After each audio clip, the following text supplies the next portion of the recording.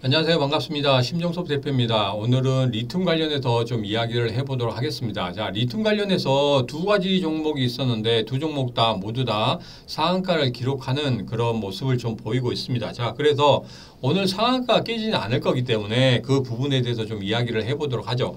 뭐 하이드로 리튬하고 리튬 포스하고 두 개 다 상한가를 갔죠. 자, 상한가 간 이유는 어, 여러분께서도 왜 상한가 갔는지 그 부분에 대해서 많이 찾아보셨을 거예요. 그래서 저도 뭐 특징주라든지 이런 부분을 보니까 거기에 대해서 리튬 가격의 어떤 반등이라든지 이런 부분에 대해서 적어놨더라고요. 그래서 그 제가 가지고 있는 자료 관련해 가지고 조금 가지고 와봤는데 어, 탄산 리튬 가격이 8월 이후에 30% 급락을 했거든요. 그리고 9월 달이 돼서 보니까 마이너스 40%까지 하락하는 그런 모습을 보였다. 자, 리튬의 가격은 전 세계적으로 공통적인 건 아닙니다. 공통적인 건 아니에요. 리튬 가격이 조금은 천차만별, 어, 나라마다 지역마다 좀 다른 그런 형태를 좀 보이고 있습니다. 그래서 이것을 통합적으로 좀 음, 만들려고 했더니 그게 좀 이루어지지가 않아요. 그리고 어, 중국에서 리튬 생산이 굉장히 많죠. 그 다음에 거의 리튬 관련해서는 중국이 좀 잡고 있다. 이렇게 생각하시면 될 것 같아요. 그래서 전체적으로 리튬에 대해서는 중국이라든지 중국을 제외하고 다른 나라 지역들도 좀 다르다. 어, 그래서 어, 가격이 통일되어 있지 않다. 이것을 조금 체크하시고 가시면 될 것 같아요. 자, 그래서 작년에 이렇게 고점을 찍고 난 후에 계속적으로 하락을 했습니다. 그죠? 그런 다음에 올라왔다가 다시 한번 하락하는 모습을 보였습니다. 자, 그래서 여기에서 이런 식으로 살짝 고개를 들어주는 듯한 모습을 보이고 있었어요. 그렇지만 이게 어 아예 반등을 한다 이런 것은 아니죠. 보통 전문가들이 이야기하기에는 여기에서 어 여기하고 여기하고 그러니까 1번 지점하고 2번 지점하고 보니까 쌍바닥이지 않냐 쌍바닥으로 저점을 찍고 올라가지 않냐 이런 이야기를 하는데 아직까지는 확실한 턴하는 그런 모습은 보이고 있지 않습니다. 우리가 예전에도 말씀드렸지만 우리 차트를 볼 때 본격적인 추세 상승은 5일선, 21선을 돌파하는 골든 크로스가 일어나면 바로 거기서 어, 저점을 만들고 난 후에 본격적인 상승을 만들어낸다 이렇게 말씀을 드렸잖아요. 그거하고 마찬가지로 비록 5일선과 21선, 뭐 61선 이렇게 정해지지 않았지만 어느 정도는 바닥을 만드는 그런 모습이 보여야 되는데 이렇게 턴하는 이렇게 본, 본격적으로 턴하는 그런 모습이 확인될 때 비로소 아 여기가 저점이고 얘가 리튬 가격이 이제야 다시 한번 상승하는구나 이렇게 느낄 수 있겠지만 아직까지는 조금 시기상조지 않나 이런 생각을 하고 있습니다. 자 그래서 어, 리튬 가격 같은 경우에는 계속적으로 말씀을 드리겠지만 리튬 가격 같은 경우에는 우리가 뭐 전기 자동차 전기 자동차가 많이 팔리면 팔릴수록 리튬 가격이 올라가는 그런 형태를 가지고 있죠. 자, 여기서 보시면 이게 있어요, 또. 핵심 강물이 모두 중국의 쏠림에 심해졌다. 여기 보면 리튬 가격도 리튬도 굉장히 많이 확대가 됐거든요. 나머지 뭐 흑연이라든지 이런 게 있지만 여기서 버는 거 리튬이기 때문에 리튬이 그렇게 중국의 어느 정도의 어 영향력을 받을 수밖에 없다. 어, 이렇게 생각하시면 될 것 같습니다. 자, 그래서 2025년도에 리튬 부족이 온다 하고 이야기가 나왔죠. 그래서 배터리 공급망에 우려가 생긴다. 물론 여기에서는 어, 한, 하나의 보고서에 대해서 기사가 나온 거기 때문에 그 기사는 그냥 참고로만 하시면 될 것 같습니다. 자, 여기 보면은 2025년도에는 전 세계가 리튬 부족에 직면할 수 있다 이렇게 나오고 여기에다 보면은 어, Fitch Solutions 연구기관이죠. 여기서 BMI에서 그런 식으로 리튬 공급이 부족할 것이라고 이야기를 했습니다. 자, 여기서 보면 보고서에서 보면은 어, 리튬 수요량만 연평균 20.4% 증가할 것으로 예상한다. 그리고 중국의 리튬 공급량은 같은 기간 6%만 증가한다. 그래서 앞으로 리튬 관련해서 지금 현재로는 핵심 요소는 중국이 리튬 생산국 3위이기 때문에 이 공급이 줄어, 줄어들므로 인해서 어떻게 된다? 가격이 어, 상승할 수밖에 없고 리튬이 부족할 수밖에 없다 이렇게 이야기가 나오고 있습니다. 자 그래서 여기서 보면 전기차 판매량이 1380만 대 이를 거라고 생각하지만 예상되고 있고 이후 2030년도에는 3천만 대로 급증할 것이다. 그러니까 공급이 따라오지 못할 것이다. 수요에 대해서 공급이 따라오지 못할 것이다. 그래서 리튬이 부족하게 되니까 리튬 가격이 상승할 수밖에 없다. 이렇게 이야기가 나왔습니다. 그래서 그 시기에 대해서 어, 전기 자동차의 수요가 많이 늘어나기 때문에 이런 식으로 나타날 것이라고 이야기하고 있지만 지금 같은 경우에는 어떻게 됐죠?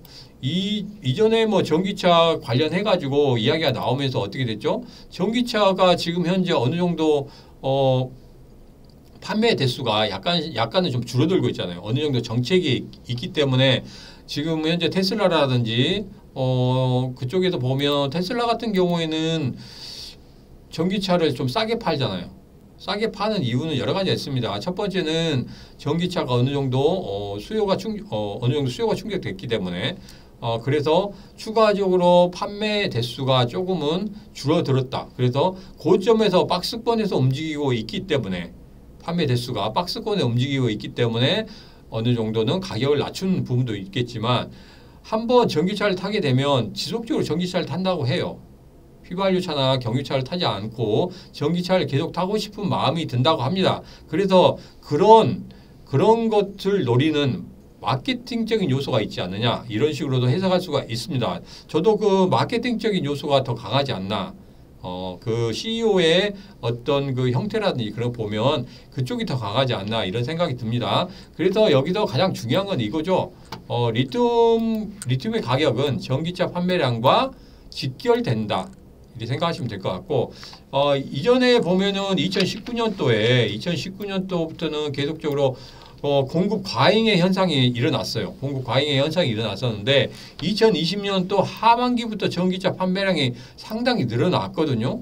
어, 여기 보면은 전기차 예, 시장이 어, 시장을 예상할 때 매년 25% 정도 성장한다고 예상을 했었는데 아 돌이켜 보니까 이렇게 전기차 판매량이 급격하게 늘어나는 겁니다. 그래서 어떻게 됐어요? 공급보다 수요가 더 많아지게 되는 거죠. 수요가 그렇기 때문에 리튬 가격이 이렇게 폭등을 하게 된 겁니다.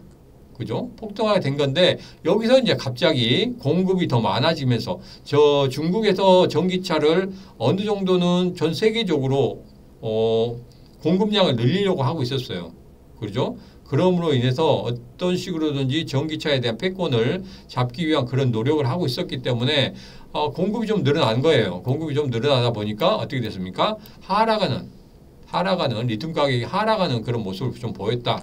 이렇게 생각하시면 될 것 같아요. 그래서 전체적으로 뭐 자세하게 어, 하는 것보다는 여러분들이 가장 어, 조금은 어, 뭐랄까요? 조금은 이해하기 쉽도록 그런 식으로만 지금 어, 계속적으로 훑어나가고 있으니까 그런 부분만 체크하시면 될 것 같습니다.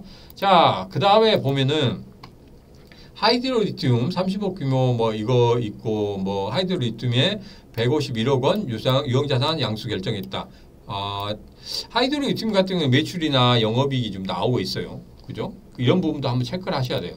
그런 부분도 한번 체크하시고 그 다음에 어반 리튬 같은 경우에는 어 그러니까 리튬 포스가 어, 어반 리튬에서 리튬 포스로 바뀌었죠. 그래서 어, 사명이 바뀌고 난 후에 어떤 식으로든지 매출이 지금 찍히지 않아요.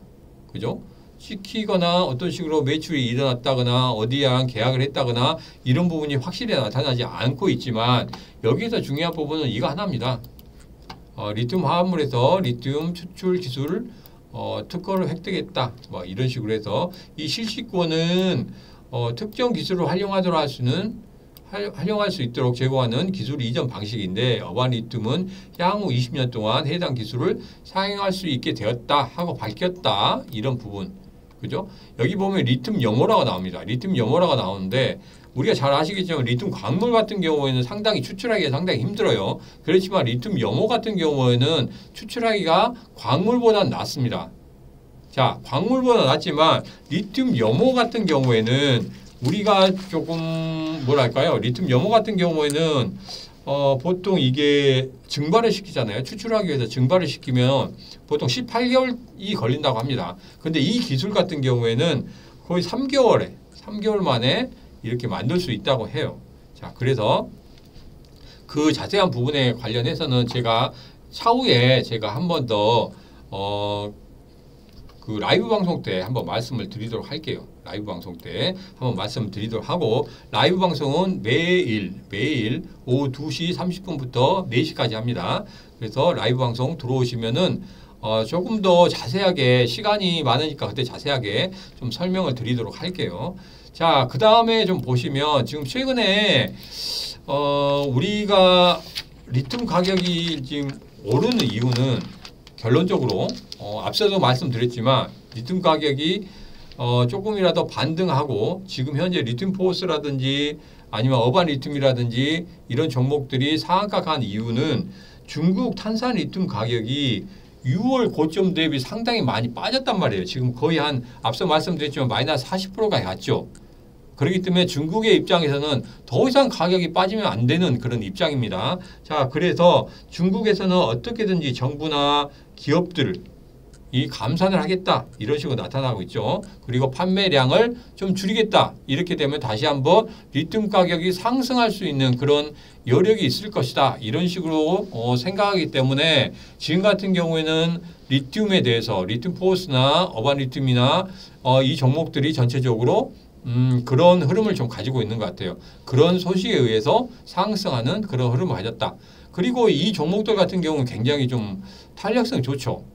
어제 라이브 방송 때도 말씀드렸습니다만은 탄력성이 상당히 좋은 종목들 중에 하나다. 그런 종목들이 어떻게 된다? 앞으로도 추가적으로 상승할 수 있는 종목들이기 때문에 그런 어, 과거에 그런 어, 어떤 그 탄력성이 좋았던 종목들은 지속적으로 여러분들이 관심을 가지시고 다시 한번 얘들이 테마에 엮였다든지 어떤 식으로 뭐 특징주에 엮였다든지 그러면 그런 종목들은 빠르게 올라갈 수 있다 이런 것을 좀 체크하시면 될 것 같습니다. 자 그래서 어, 전체적으로 한번 차트를 한번 보도, 보고 지금 현재 위치가 어딘지 한번 알아보도록 하겠습니다. 자 현재 위치를 알 수 있는 방법은 뭐라고 했죠? 제가 라이브 방송 때도 말씀드렸습니다만 지금 현재의 어, 고가 그 다음에 저가를 한번 선을 한번 쭉 그어보세요. 선을 한번 쭉 그어보시면 지금 현재 위치가 어딘지 딱 나타나거든요. 그죠? 여기에서도 지금 현재 위치가 어딘지 나타나죠. 자 그러면 현재 위치가 여기인데 여기를 쭉 가봤더니 이전에 여기서 1차적으로 상승했던 그런 분위기가 있었고 그 다음에는 특별한 거 없죠. 여기에서 뭐였죠? 지난번에 저가를 만들었던 데다. 저가를 만들었던 데서 다시 한번 저가를 만들어내고 있죠. 그죠? 우연의 일치인지 모르겠지만 분명 다시 한번 저가를 만들어내고 있다는 거. 자, 그래서 여기에서 보면 224일선 세력선 아래쪽에 있기 때문에 세력이 아직 들어오진 않았어요. 어느 정도는 들어오진 않았다고 이렇게 보시면 될 것 같고 자 여기서 보면 1차 상승하고 눌림목 주고 다시 2차 상승했죠. 자 그래서 내려오면서 여기에서 21선을 어, 일봉의 종가가 21선을 어떻게 했습니까? 건드렸죠. 자, 매도의 조건 첫 번째가 뭐라 했습니까? 다섯 가지 중에서 첫 번째가 뭐라 하겠습니까? 첫 번째는 일봉의 종가가 21선을 하향 돌파할 때 매도한다고 했습니다. 자, 여기가 매도의 조건에 딱 맞기 때문에 여기서 매도하시는 거예요. 그죠? 다섯 가지 조건 중에서 첫 번째 조건이 맞기 때문에 그 다음에 21선을 계속적으로 맞고 내려오고 있죠. 계속적으로 맞고 내려오고 있습니다. 21선이 저항성이 가장 강한 저항선으로 작용하게 되는 거예요. 물론 여기에서 한번 살짝 튀어 올랐지만 굳이 여기서 매도를 했는데 여기서까지 기다렸다가 매도하는 거 거의 비슷하잖아요. 그죠? 그래서 정확한 매도점은 여기였다. 그 다음에 여기서 기다린 거다. 자, 기다리고 여기서 224선 하향 돌파했을 때, 세력선 하향 돌파했을 때 어떻게 한다고요? 무조건 매도다. 이렇게 말씀드렸습니다. 그래서 여기서 매도를 못 하셨던 분들은 여기서 매도를 하시고 지금은 기다리시는 구간이다. 이렇게 말씀드립니다. 자, 그래서 여기서 어차피 뭐 전저점, 이라는 부분도 있긴 하지만 이건 좀 상징적인 것 같고요. 지금 여기에서 지금 어, 오르긴 했어요. 오르긴 했지만 21선을 뭐 일봉이 강하게 뚫어 올렸습니다. 자 그렇지만 여기서 자세히 보시면 5일선이 5일선이 21선을 돌파한다든지 그런 모습은 보여주고 있지 않거든요. 좀 크게 확대해서 볼까요? 좀 크게 확대해서 보면 5일선이 21선을 돌파하는 그런 모습은 아닙니다. 그런 모습은 아니죠. 그냥 장대 양봉만 우선 세웠어요. 장대 양봉 세운 다음에 얘가 과연 어떻게 움직일 것인지 그런 부분이거든요. 지금 현재로는 일차적으로 뭡니까? 어, 매물대가 위쪽에 많이 있단 말이에요. 자, 그래서 5일선이 21선을 돌파하는 골든 코스가 있다면 1차 목표가가 어디라고 했습니까? 맞습니다. 112일선까지 갑니다. 112일선까지 가기 때문에 여기까지는 올라갈 수 있다는 거예요. 그렇지만 아직 골든 크로스가 일어나지 않았다. 그러면 오, 오늘 일어나지 않았기 때문에 내일 다시 한번 여기서 장대 양봉 이후에 조정을 주는 흐름이 조금 나온다. 조정을 주는 흐름이 조금 나온다 하면은 그냥 골드코스 일어날 거예요. 그러면 1차 목표가 112일선인 16,000원까지는 16,000원에서 16,500원까지는 올라갈 것이다. 이렇게 예상하시면 되겠습니다. 자, 그래서 정확히 찍어드리면 224일선이 16,200원이네요. 16,200원까지는 1차 목표가를 가지시고 접근하시면 될 것 같습니다. 자, 그래서 어, 전제 조건은 하나예요. 전제 조건은 뭐냐면 내일 흐름이 어떻게 된다? 이 장대 양봉 이후에 3등분을 이렇게 하다 보니까 이쪽 위에서 이런 식으로 조정을 줘야 된다. 그러면 추가적인 상승을 만들어낼 것이다. 이게 전제 조건입니다. 이 전제 조건을 기억하시고 매매하시는데 참고하시면 되겠습니다. 자 그리고 리튬 포스 봤을 때 하이드로 리튬 보죠. 하이드로 리튬 같은 경우에도 마찬가지죠. 하이드로 리튬 같은 경우에도 우리가 어느, 어느 위치에 있는지 한번 보겠습니다. 어느 위치에 있는지 자 여기서 한번 긋고 여기서 한번 그어봤습니다. 자 여기서 한번 그어보니까 어디게 나타나죠? 지금 별다른 건 안 나타나는데 여기에서 막 시작했을 때 그런 부분 자, 그래서 뭐 커다란 의미는 없습니다. 왜? 지금 현재 하락 추세에 있어서 어느 정도 저점을 만든 상황이기 때문에 그렇다고 해서 저점을 완전히 만들었느냐? 그것은 아직 아닌 것 같아요. 자, 그래서 어, 이 종목도 마찬가지로 5일선, 21선 돌파하는 골든 크로스가 아직은 일어나지 않았어요. 그죠? 그렇지만 내일 마, 만약에 이 장대 양봉 이후에 조정을 이쪽 위쪽에서 준다고 하면 분명히 다시 한번 어, 상승할 수 있는 그런 흐름을 보일 것이고 5일선, 21선을 돌파하는 골든 크로스가 만들어질 것이다. 자, 그러면 1차 목표가는 어디까지? 112일선까지 여기까지가 1차 목표가다. 이렇게 생각하시고 접근하시면 될 것 같고 224일선이니까 2만 3천원이네요. 2만 3천원까지는 1차 목표가로 가지시고 어, 접근하시면 될 것 같습니다. 전제 조건은 뭐라고요? 이 장대 양봉 이후에 3분의 1 위지점에서 놀게 되면 상승의 확률이 얼마라고요? 70에서 80%까지다 이렇게 말씀을 드립니다. 자 그리고 수급가 수급적인 측면에서 보면 이 하락하고 있을 때 지금 어떤 식으로든지 매집이라든지 이런 부분은 안 보입니다. 아직은 보이진 않아요. 그렇지만 여기에서 단기적인 매집이 좀 들어왔다. 이렇게 생각하고 접근하시면 될 것 같습니다. 물론 이 종목에 대해서 제가 말씀드립니다만은 어느 어떻게든지 어떻게든지 매출이나 영업이익이 일어나는 그런 종목들 위주로 가셔야 된다는 거 다시 한번 말씀을 드릴게요. 자, 그래서 이 종목 같은 거 하이드로 리튬 같은 경우에 한번 한번 보시죠.